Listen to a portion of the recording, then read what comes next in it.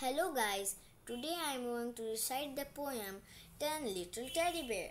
Ten little teddy bears sitting on the bed. I will read a book, said Mr. Red. Nine little teddy bear playing in the sink. I am feeling hungry now, said Miss Pink.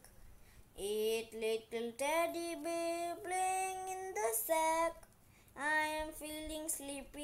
now, said Mr. Black. Seven little teddy bear together took a bite. I will get some water, said Mr. White. Six little teddy bear came to say hello. I will go and sing a song, said Mr. Yellow. Five little teddy bear dancing on the glue. Oh, I am stuck, said Mr. Blue. Four little teddy bear playing with a tray.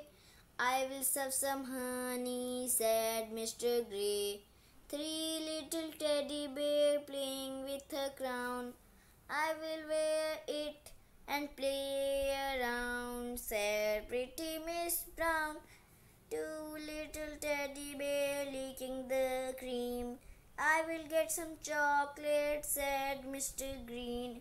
One little teddy bear playing with a turtle.